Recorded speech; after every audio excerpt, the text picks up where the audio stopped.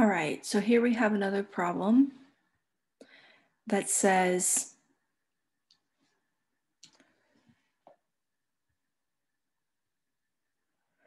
um, two, ve two vehicles start out traveling side by side along a straight road.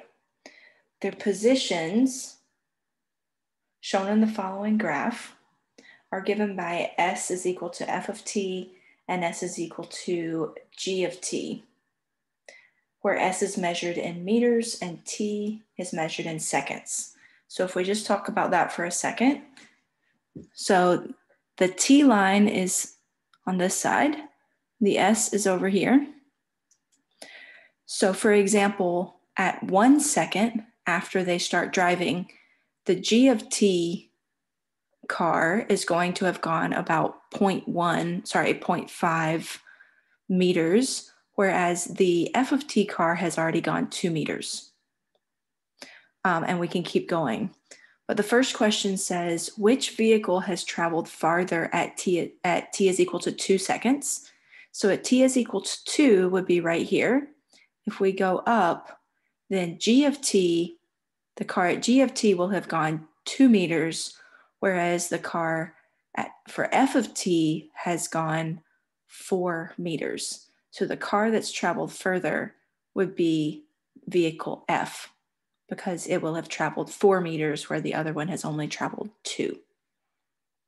The next question says, what is the approximate velocity of the F vehicle at t is equal to three seconds? So when we're looking for velocity, we're looking for the slope of the distance versus time graph.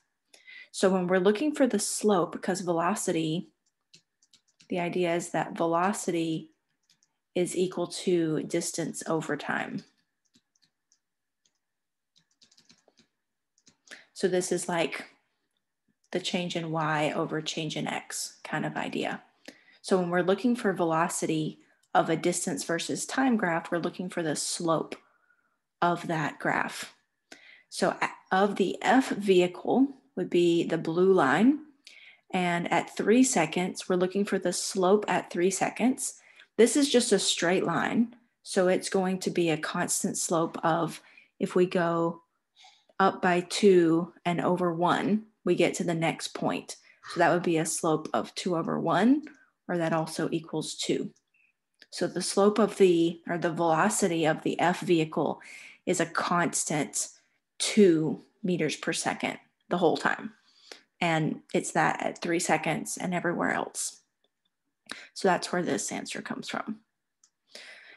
And then the next question says, what is the approximate velocity of the G vehicle at t is equal to three seconds? So the G curve is not a straight line. So since the G curve is not a straight line, we'll need to draw a tangent line. So the tangent line, we're trying to approximate the slope. So if we approximate the slope, it's gonna look something, something like this at three. So if we look at the slope of that, if we go one, two, three up and one over, it's going to be, not exactly, but it's going to be approximately three over one or equal to the velocity of the G vehicle at three seconds is going to be about three. So even though um, at three seconds the F car has traveled further, it's not, um, its velocity isn't as fast. This one started out slower, but now it's picking up speed and it's going to overtake the F vehicle. So for the last question, I wasn't able to fit it on here, but the last question says, which vehicle is traveling faster at t is equal to four seconds? So now if we draw a new tangent line at t is equal to four, it's going to look something like this. Let me do it in a different color. Let me change to say orange or something t is equal to 4, if we draw the tangent line, it's going to look something like this. So now the slope of this tangent line is bigger than the slope of the f line. So the vehicle that's traveling faster at t is equal to 4 would be vehicle G. Will be traveling faster at t is equal to 4. And really, I think it already was at t is equal to 3.